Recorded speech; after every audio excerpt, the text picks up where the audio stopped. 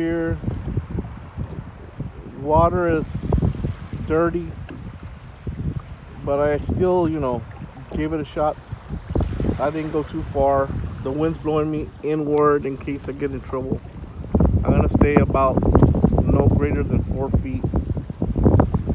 But it lets me. I've been looking for a place to mount my uh, iPhone holder.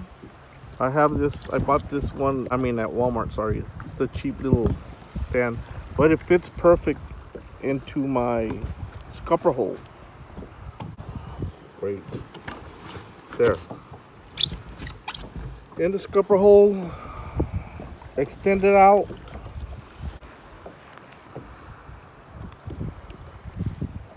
Is it on video? Yes, I think so. Well, anyway, that way I can mount my phone there. That way when I catch a fish, I can just leave it mounted. I probably need to put a leash on it anyway, so I won't lose it. But right there, I have it mounted on that, uh, that, uh, what is it? I know it's called some kind of stick. But I can just rotate it right here with my left hand. It's a little kind of loose in the scupper hole. I brought some tape in case I needed to secure it. But I noticed the higher I go on this uh, aluminum stand, it kind of pushes out on the tripod, the bottom part.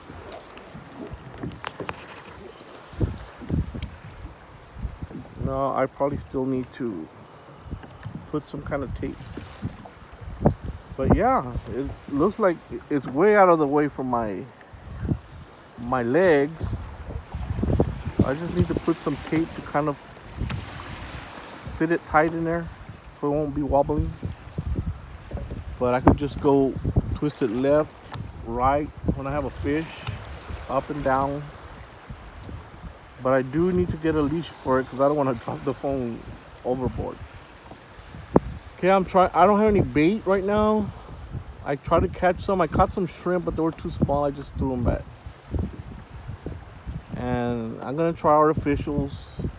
This is the. I had to anchor down because the wind is just and waves are throwing me to the the mainland. There's a couple wade fishermen, but you know they're about waist to chest deep.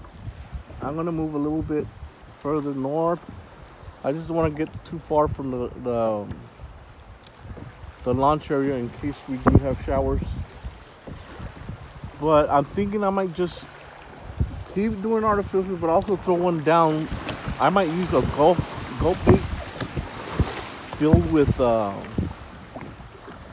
with uh, you see birds working over there close to the ramp to the launch. I'll just move around a little bit. Any day you can get out here. I saw the weather was gonna settle down a bit from all the crazy rain and tornadoes and winds we've been having. Monday afternoon after Mother's Day, I saw a window of maybe three or four hours. So I'm out here uh, trying to catch some, some fish. So I might put a gulp on my bait rod and then saturate it with that uh, ballyhoo oil. Maybe I could catch some reds that way. But I'll just keep working artificials. I started off with uh, that blue uh, AMF AM lure, but I might switch to gulp just to give it a little bit of smell.